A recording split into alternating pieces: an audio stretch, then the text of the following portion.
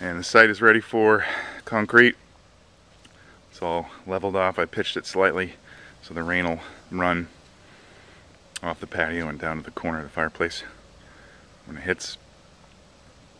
And the rebar is all set.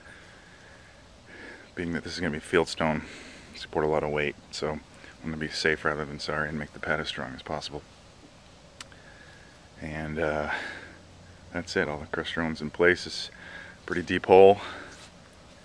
And I'm about to head off to Home Depot to rent a cement mixer and get a few more bags of Quikrete. Uh, this is a four and a half by six pad, so it needs 23 bags approximately. So lots of 80 pound bags to carry. More later.